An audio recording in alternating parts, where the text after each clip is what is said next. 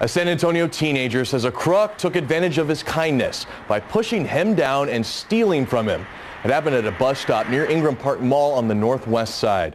News 4 San Antonio's Ashlei King spoke to the teen about his ordeal and shows us what other crime is affecting that area in tonight's Crime Tracker. Ashlei, what can you tell us? Robert, 18-year-old Roman Garcia says he was waiting for the bus here when another man came from across the street and asked for help. 18-year-old Roman Garcia often rides the bus to get around town. He says Friday started like any normal day as he waited for the bus near Ingram Park Mall. Then he says something strange happened. Garcia says a man ran across the street and claimed he had an emergency and needed to borrow a phone. He said he ran out of gas, so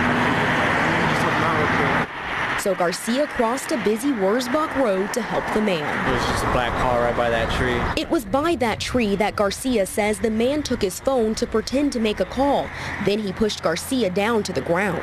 He pushed me on the floor and uh, got into the car and the car drove off. And I wasn't expecting to be pushed on the floor, so I got up as fast as I could and I started like running, running after the car. But unfortunately, the man and Garcia's phone filled with personal information and memories captured in pictures was gone in an instant. I honestly don't care about the phone at all. It's just a device. My thing is just like, it has. We did a crime tracker report and found over the past six months there have been more than 40 thefts near Ingram Park Mall, but only three across the street where Garcia says his phone was stolen. Kind of